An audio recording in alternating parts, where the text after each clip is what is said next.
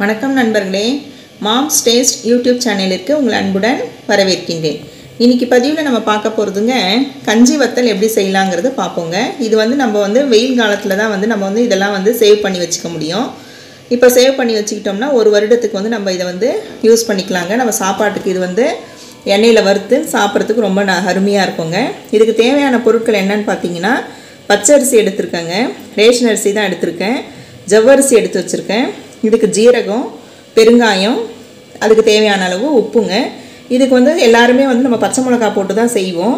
ஆனால் வந்து பச்சை மிளகா வந்து போட்டு செய்யும் போது நம்ம அந்த கோடை காலத்துலலாம் வந்து நம்ம இதை சாப்பிடும்போது பார்த்திங்கன்னா உடம்பு வந்து ரொம்ப சூடை வந்து கிளப்பி நம்மளுக்கு வந்து லூஸ் மோஷன் அது மாதிரி ஆகிறதுக்கு வாய்ப்பு இருக்குங்க. அதனால் தேவைன்னா நம்ம மிளகு போட்டு செ செஞ்சுக்கலாம். நான் வந்து எதுவுமே பச்சை மிளகாவும் போடல மிளகும் போடலை.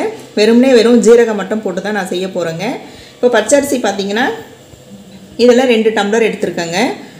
ஜவ்வரிசி பார்த்தீங்கன்னா இரநூறுங்க. இந்த டம் இந்த டம்ளரில் ஒரு டம்ளர் எடுத்திருக்கேன். இதை நல்லா வாஷ் பண்ணி மூணு முறை நல்லா வாஷ் பண்ணி எடுத்து வச்சுருக்கேன். இப்போ இந்த பச்சரிசியை மட்டும் நம்ம என்ன செய்கிறோம் அப்படின்னு பார்த்தீங்கன்னா மிக்சியில் போட்டு நம்ம இட்லி மாவு பதத்துக்கு நல்லா நைஸாக அரைச்சிடணுங்க. அரைச்சிட்டு அடுத்த ஸ்டெப்பு என்னன்றதை நம்ம பார்ப்போம் வாங்க. பாருங்கள் நண்பர்களே இப்போ வந்து ஏதாவது ஒரு பாத்திரம் வச்சு தண்ணி ஊற்றிக்குங்க தண்ணி வந்து இதுக்கு அளவுலாம் கிடையாதுங்க. நம்ம எந்த பாத்திரம் எடுக்கிறோமோ அந்த பாத்திரத்தில் வந்து அரை அரை பாத்திரம் வர மாதிரி தண்ணி ஊற்றிக்குங்க அப்படி இல்லை உங்களுக்கு அளவு தான் வேணும் அப்படின்னு பார்த்தீங்கன்னா ஒரு டம்ளருக்கு மூணு டம்ளர் தண்ணிங்கிற விதத்துக்கு தண்ணி எடுத்து ஊற்றிக்குங்க இப்போ தண்ணி கொதிச்சிருச்சு. நம்ம ஜவ்வரிசி வந்து போட்டுடலாம். சீரகமும் இதிலேயே போட்டுடலாம்.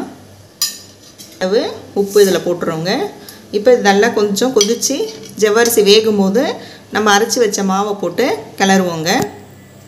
பாருங்க நமக்கு நல்லா கொதித்து ஜவ்வரிசி வந்து நல்லா வெந்துக்கிட்டு இருக்கு இப்போ இந்த மாதிரி நேரத்தில் நீங்கள் என்ன செய்யுங்கன்னா கொஞ்சம் வந்து தண்ணி எடுத்து கொஞ்சம் டேஸ்ட் பண்ணி பாருங்கள் உப்பு கரெக்டாக இருக்கான்னுட்டு.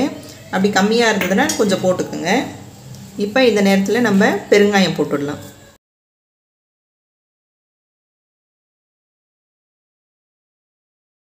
பாருங்கள் நம்ம பச்சரிசி அரைச்சதை வந்து இந்த இந்த அளவுக்கு வந்து தண்ணி ஊற்றி நைஸாக அரைச்சிக்குங்க. ஒரு சிலர் வந்து நொய்யாக கூட அரைச்சிக்கலாம்.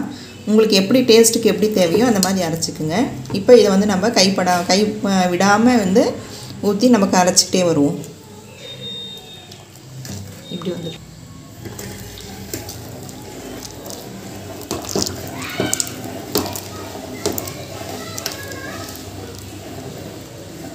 பாருங்க நண்பர்களே இந்த மாதிரி நல்லா கை விடாமல் கரைச்சிட்டே இருங்க. ஃபஸ்ட்டு நம்ம ஊற்றும் போது சூடாக இருக்கும் போது ஊற்றும் போது கட்டி பிடிக்கிற மாதிரி தான் இருக்கும். கொஞ்சம் பொறுமையாக அந்த பாத்திரத்தை வந்து கீழே இறக்கி வச்சு நல்லா இந்த மாதிரி கரண்டியில் பண்ணோம்னா கொஞ்சம் கட்டி பிடிக்குது. அதனால் இந்த மாதிரி துடுப்பு இல்லை இது இந்த பாருங்கள் மத்து. இந்த மத்து கூட எடுத்து பின்பக்கம் இந்த மாதிரி பண்ணி கரைச்சிட்டே வாங்க நல்லா.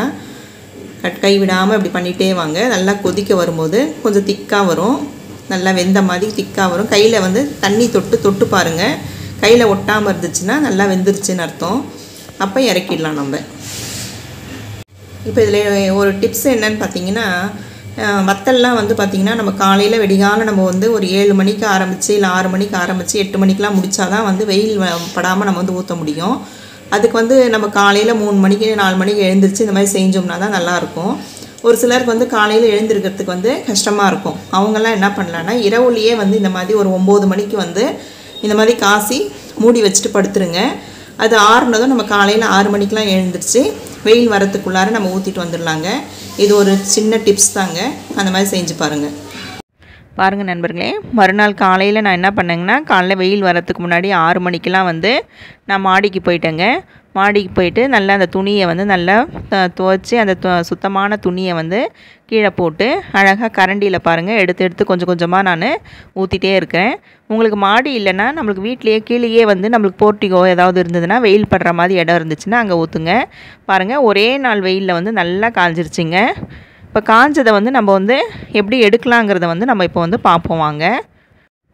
பாருங்கள் இப்போ வந்து காஞ்ச இந்த வத்தலை வந்து நம்ம என்ன செய்யணும்னா நல்லா ரெண்டு நல்லா நாலு மடி அப்படி மடிச்சுட்டு நல்லா தண்ணியை வந்து தெளித்து விட்டுருங்க. ஒரு கா கால் மணி நேரம் தண்ணி தெளித்து விட்டாலே போதுங்க. தண்ணி தெளிச்சுட்டு உடனே அதை எடுத்திங்கன்னா நல்லா அழகாக வந்துடுது பாருங்கள் எதையும் வந்து உடையாமல் அழகாக வந்துடுது நம்ம எடுக்க எடுக்க அழகாக வந்துடுது இப்போ பாருங்கள் நம்ம காஞ்சதை வந்து எல்லாத்தையும் எடுத்து மறுபடியும் ஒரு நாள் வெயிலில் வந்து நம்ம நல்லா காய வச்சிடணும். ஏன்னா நம்ம ஈரப்பட்டது ஈரம் பட்டுது இல்லைங்களா? அதனால் மறுபடியும் காய வச்சு இப்போ எண்ணெயில் பொறிச்சு எடுங்க பாருங்கள் சுவையான நல்ல கஞ்சி வத்தல் வந்து நமக்கு நல்லா ரெடி ஆகிடுச்சுங்க மொறு மொறுன்னு இதை நம்ம நல்லா ரச சாதத்துக்கு சாம்பார் சாதத்துக்கெல்லாம் நல்லா தொட்டு சாப்பிட்டோம்னா ரொம்ப ருசியாக நல்லா இருக்குங்க.